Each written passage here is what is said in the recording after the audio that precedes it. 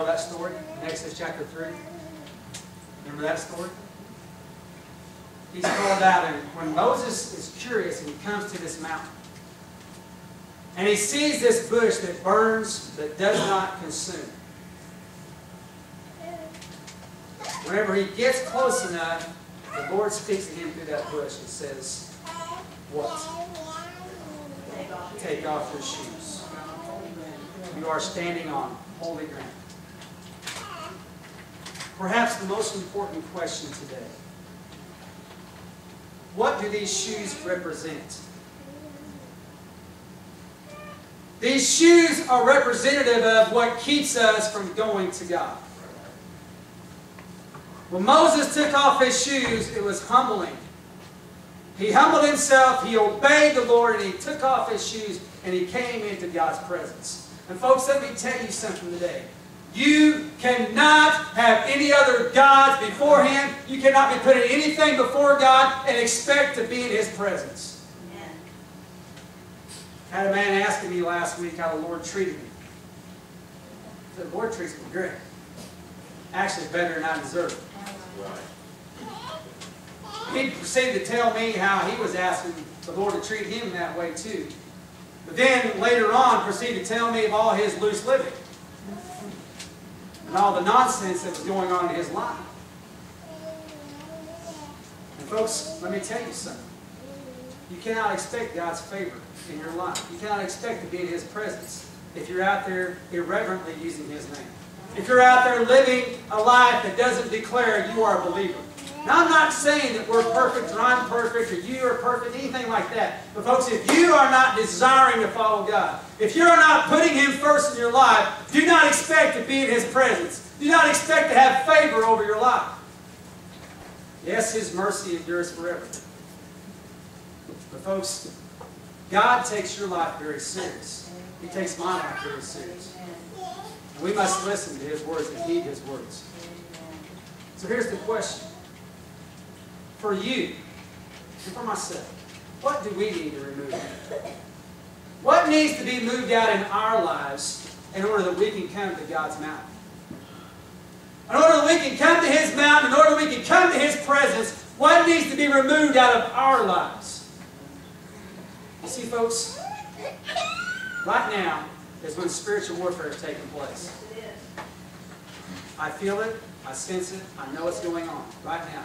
The devil doesn't want me to ask these questions because what he does not want you to have, he doesn't want you to get free today. He doesn't want you to have victory today. He doesn't want you to have, yes, thank you, he doesn't want you to have peace in your life. He wants you to continue on living like the way you're living today without reverence for God, wondering why your prayers aren't being answered, wondering why you're not having that abundant life, wondering why you're not enjoying the presence of God's people, wondering all of that thing, and He is telling you, don't listen anymore. Shut him off because he's getting too personal. That pastor don't have a right to be asking these questions of me. So what are we putting, thank you Mary, what are we putting before God? What do we need to remove in our lives in order that we can come to the mountain? Whether we realize it or not, we need to get rid of some household gods. You read about the household gods that Rachel took along with them whenever Jacob took his family out and Uncle Laban. They had these household gods they would set up in their, in their shells or whatever they had in their house, like a mantle or whatever. They had all these different gods. They'd come along and they'd approach another area, another culture that had a different deity that they worshiped and thought, hey, that's a, that's a good one. So we'll take that one too. We'll, we'll put it up on the shelf. Maybe we'll get favor with the God over this, over this culture. That happens a lot. Back in the day when Paul was going through, one of the reasons he got stoned and one, not, not with the wrong kind of stone, but the, with the rock stone. One of the reasons he got stoned and, and actually put to death for that stoning was because of an area he came into and they were all engraving these stones and engraving, the, carving out these little gods and selling them to people.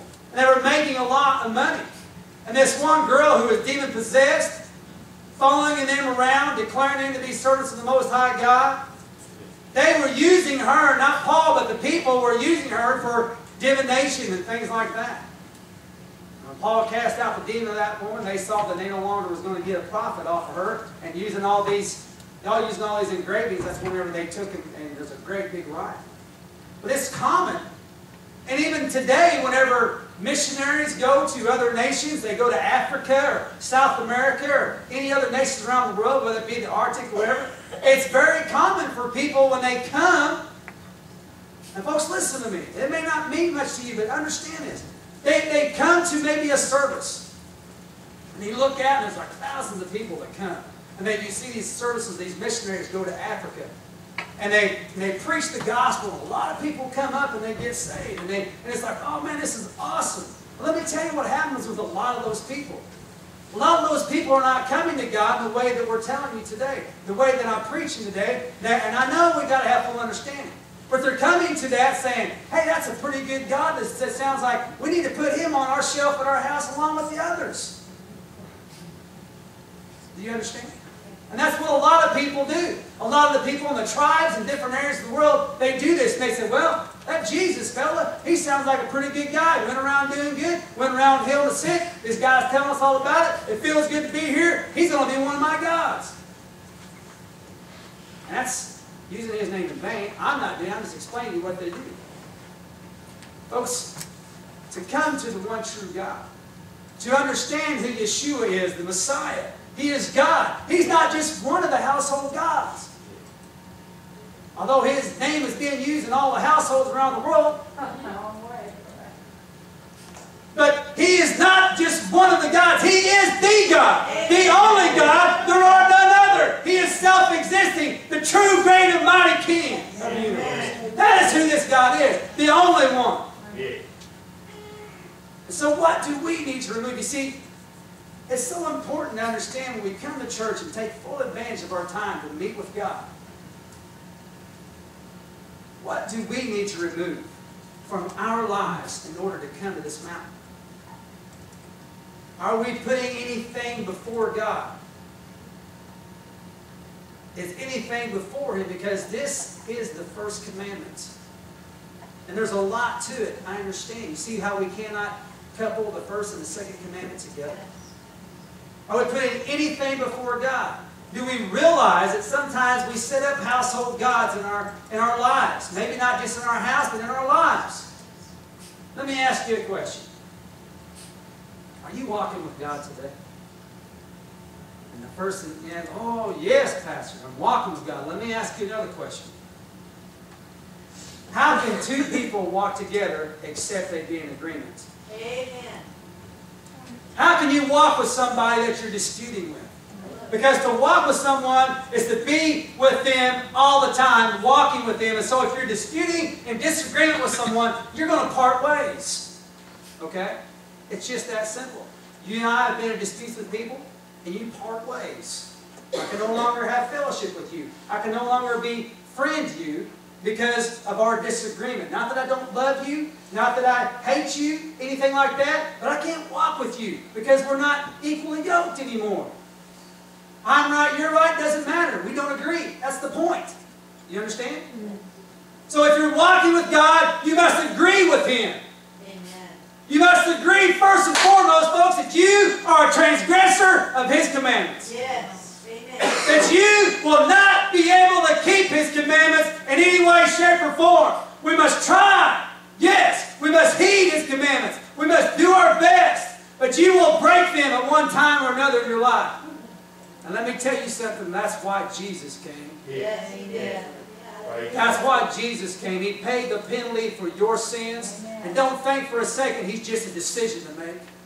The Bible commands all men everywhere in the book of Acts to repent of their sins. Not just make a decision. Repent of their sins this day, not tomorrow. There are no provisions. Did you know that? Did you know there are no provisions in the Bible for tomorrow? Did you know that? You'll not find it in Scripture.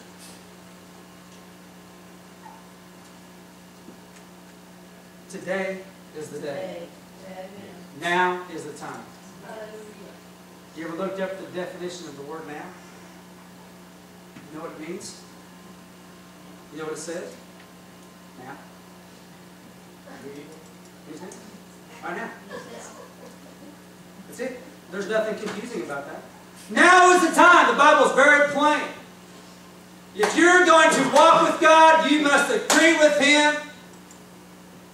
Isaiah, chapter 1, verse 18 says this Come now, let us reason together. You see, God wants to reason with you. You need to know, as the book, the book of John, chapter 3, verse 16, which we have up here, God so loved you. God so loved the world.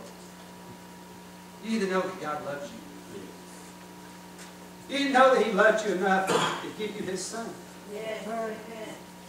And don't mishandle His Son. Amen. Do not mishandle Him. Do not forsake Him. And do not crucify Him again. If you're a believer today, don't crucify Him again. Because it will not be to His loss, it will be to your loss. Right. If you're going to come to God, come to the mountain, if you're going to agree with Him, if you're going to walk with Him, you must reason with Him. You must understand, though your sins be as scarlet, and they be red as crimson, God is able to wash you whiter than snow. And that's His desire for your life. His desire for you is to be whiter than snow.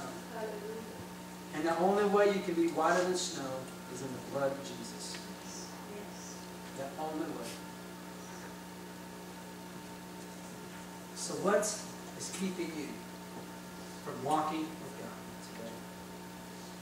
What's keeping you from a relationship with the one true God? And if you're a believer today, what's keeping you from walking in the victory and abundant life that He has promises for all His children? He doesn't promise that abundant life to the ones who rejected Him.